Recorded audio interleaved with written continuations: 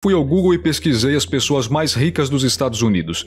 E você vê que são pessoas como Steve Jobs, Warren Buffett, Bill Gates, Mark Zuckerberg, e eu fiquei tipo, ah, nenhuma dessas pessoas seguiu esse caminho tradicional de obter um diploma, de procurar um bom trabalho. Eu tô perdendo alguma coisa? Porque eu pensei que se você for para a escola, conseguir um bom diploma, você pode ganhar muito dinheiro. E se você se esforçar mais na escola, tirar notas melhores, ganhará ainda mais dinheiro. Então eu pensei que era diretamente correlacionado suas notas e sua renda. E foi aí que comecei a questionar as coisas e percebi: ah, talvez não seja isso. E quando você começa a descer cada vez mais na toca do coelho, começa a perceber: ah, meu Deus, tudo que me disseram é mentira.